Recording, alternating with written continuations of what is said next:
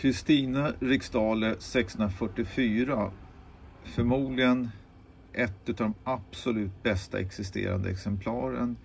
Det är certifierat av NGC MS63, Minstate 63, vilket motsvarar god 01. Det här är ett eh, riktigt kabinettsexemplar, helt orört, fantastiskt utpräglad och en ja, underbar Eh, bottenlyster också så att myntet blir inte bättre än på det här viset. Eh, dessutom så har den ju då eh, är det här den sällsynta varianten då med grovt vävd mantel. Man ser här att manteln har en grovt mönster. Som variant betraktat är den här 2R, det vill säga jag bedömer att det finns mindre än 10 exemplar existerande i marknaden.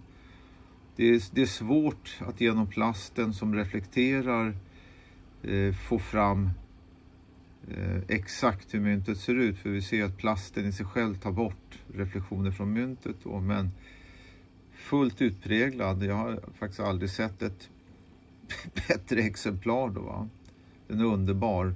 Det här myntet kommer ni också kunna titta på på Stockholm Numismatica nu på söndag den 3 oktober och eh, ja, ni ser ju hur den ser ut. Jag titta på, på fälten, titta på eh, den fantastiska lysten i, i, i omskriften då runt textens höga bokstäver. Och på utpräglingen, ett, att hitta ett mynt i ett sånt här orört skick, ett kabinettsexemplar.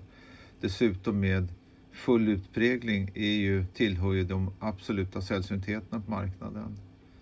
Så att det här är ett underbart exemplar. Bättre än så här blir det inte. Dessutom så har man då placerat i en skyddande kapsel då från NGC som, som gör att myntet eh, ligger skyddat och inte tar skada av hantering. Va?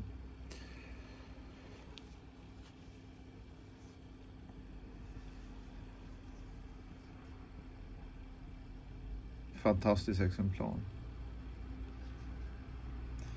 I min katalog så har jag då benämnt den här med eh, SMB 27, grovt vävd mantel, stort AG i fälten, 2R.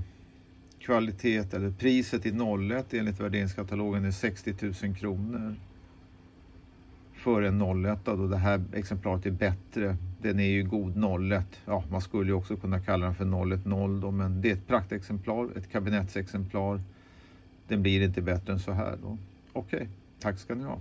Hej!